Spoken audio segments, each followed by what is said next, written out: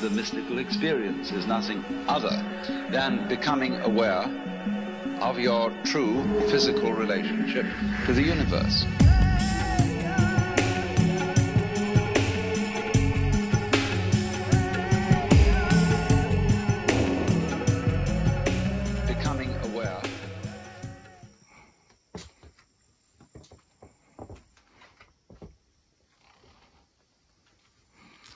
So I got the uh, pine paneling done.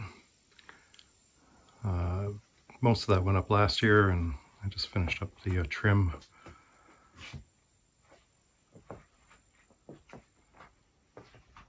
Around the windows.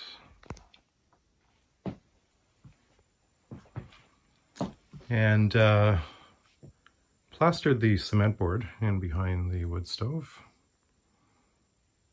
I did a uh, textured plaster. Still need to uh, put a coat of prime on this. But uh, I'm really happy with uh, how it turned out. I don't know if that texture comes through or not, but... Uh... And uh, what else? The drywall finished. And I got a coat of primer up on that, uh, that wall.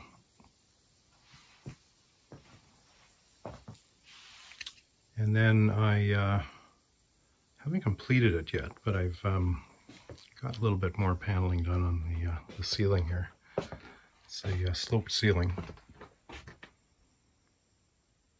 And I'm uh, putting pine up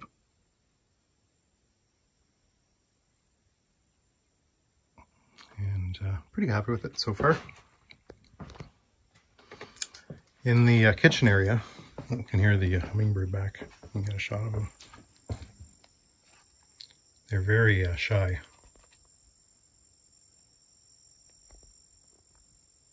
Been uh, they've been getting used to me, but uh, they're still very shy. So uh, yeah, in the kitchen area. Um, I'm likely going to put in some uh, tin ceiling tiles. Um, we'll see what I can find. I uh, put up this uh, backsplash here.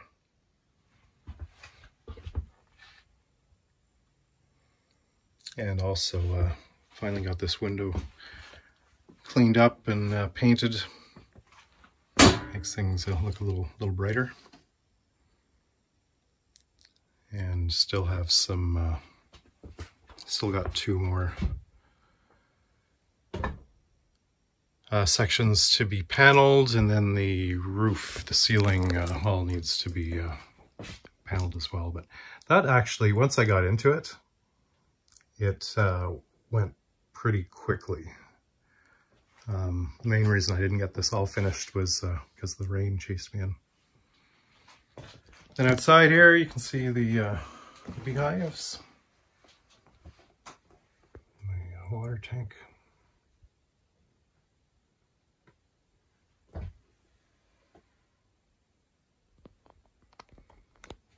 So uh, yeah, that's about it for the tour. Back here, well, I've got my uh, fridge. I've um, got a little bit of a kitchen pantry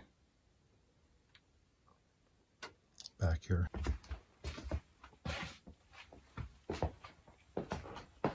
But uh, it's my spot and I really, uh, really, really like uh, coming out here.